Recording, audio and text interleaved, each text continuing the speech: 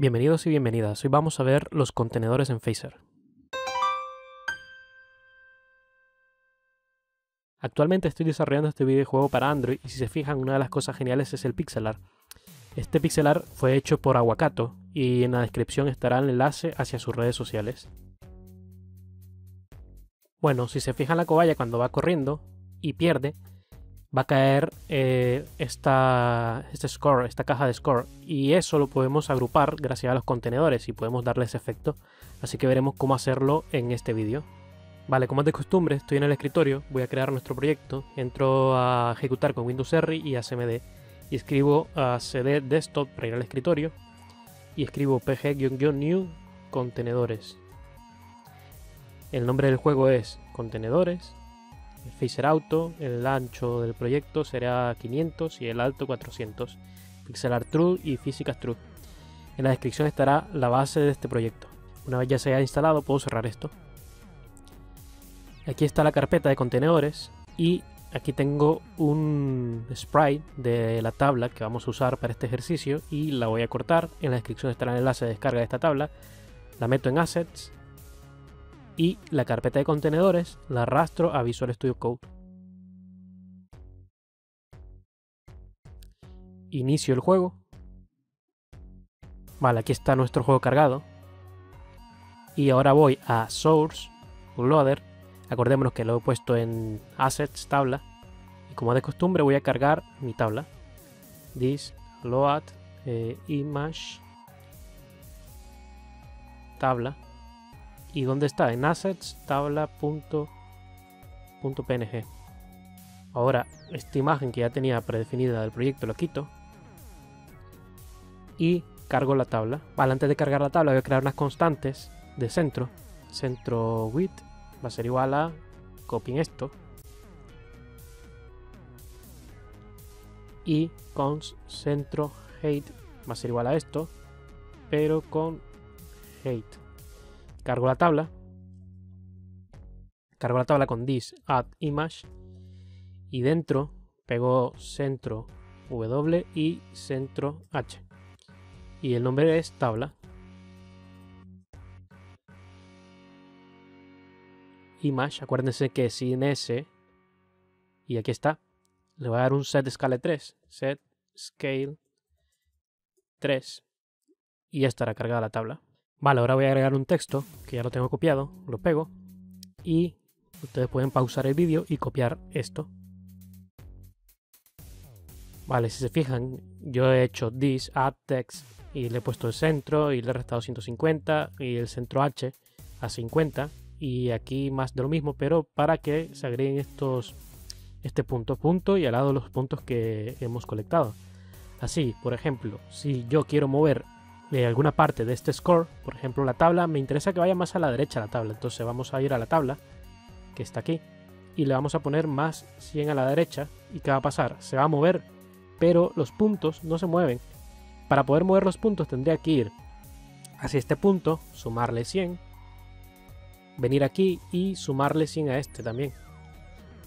Y así sí que se moverá. Pero a lo mejor si tengo más puntos aquí, no me interesa hacer todo esto y me interesa usar un contenedor. El contenedor va a agrupar todo esto en un solo punto y así yo podré mover solo el contenedor y se va a mover todo esto.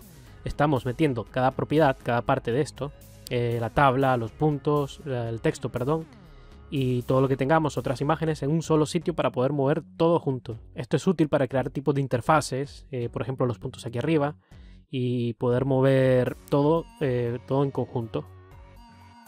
También estos contenedores se les puede agregar twins, o sea, le agregamos un twins al contenedor y se va a ejecutar en todo. También podemos escalar al contenedor y se va a escalar todo. Así que vamos a ver cómo crear ese contenedor. Vamos aquí, revertimos lo que hemos hecho, guardamos y aquí está. Vamos a crear nuestro contenedor.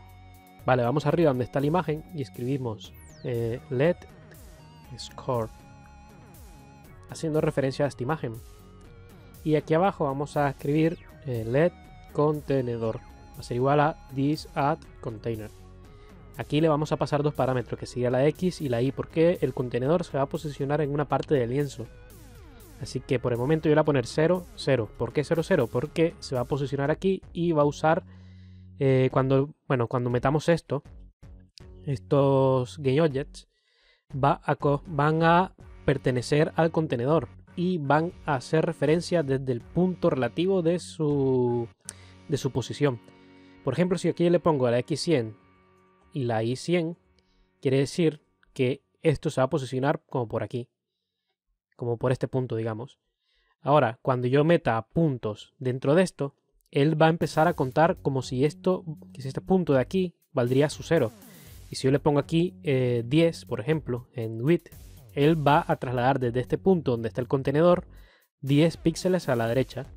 Entonces, por eso lo voy a dejar por el momento en cero. Porque así se va a posicionar hasta arriba del todo. Y va a... O sea, no se va a mover esto. Va a quedar donde está. Y yo, para agregar eh, todos estos eh, tres game objects, escribo contenedor, add y dentro paso un array que sería score, prepuntos y puntos. Guardo, no va a haber ningún cambio, pero ya se está guardando todo en la cajita del contenedor y si yo quiero mover eh, es todo esto 10 píxeles a la derecha, pues 10 píxeles aquí y se van a mover 10 píxeles, bueno, no se nota, 100 píxeles. Y se ha movido 100 píxeles, 100 píxeles hacia abajo. Perdón, 100 píxeles hacia abajo y se va a mover, se está moviendo. ¿Vale?